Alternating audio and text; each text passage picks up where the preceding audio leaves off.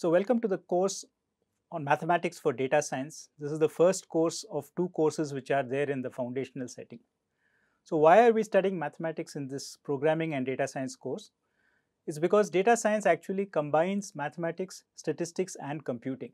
So without a good background in mathematics, it's not possible to really appreciate many of the ideas that go into data science. So in this first course in mathematics for data science, we will basically be covering material which may be familiar to many of you. We will start with fairly basic things about numbers, sets, relations and functions. This is just to bring everybody onto the same page in terms of terminology and notation. Many of these concepts as we said you would already know or even if you have not seen it for some time, this refresher should tell you what you need to know. Having got these basics under our belt, we will do some coordinate geometry. So we will look at how to draw lines and how to get the slope of a line, how to calculate the angles between two lines and so on.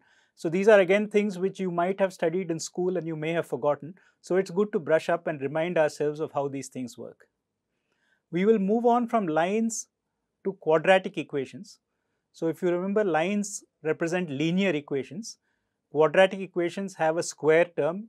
If you draw them they look like parabolas. So we will look at quadratic equations and then we will generalize to higher powers. So these are what are called polynomials. So these are all functions which we can draw as graphs in the sense of coordinate geometry, but we can also analyze them in many different ways. And functions will be quite essential in our study of data science. So moving on from polynomials, we have functions which are not polynomials, those that grow very fast, these are exponentials, and those that grow very slowly, these are logarithms. So to summarize, we will be looking at large variety of functions starting from lines and going through polynomials to exponentials and logarithms. And finally, we will move to something which perhaps you have not seen in school, which is a different form of graph. So this is not the kind of graph where you have an x-axis and a y-axis and you draw a curve explaining the relationship between x and y. Rather, this is a graph of the kind you see when you look at, for example, a map of an airline timetable.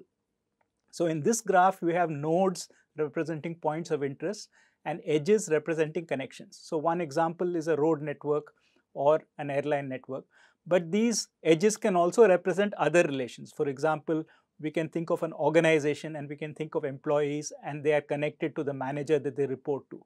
So we will look at graphs, how to represent data as graphs and some simple manipulation on graphs algorithmically. So I hope you will enjoy this course. I'm sure that a lot of it will be familiar to you, but I hope that you will also find something new and a new perspective on things that you already know. And with this, you should have a good foundation for all the courses that come up ahead. Thank you.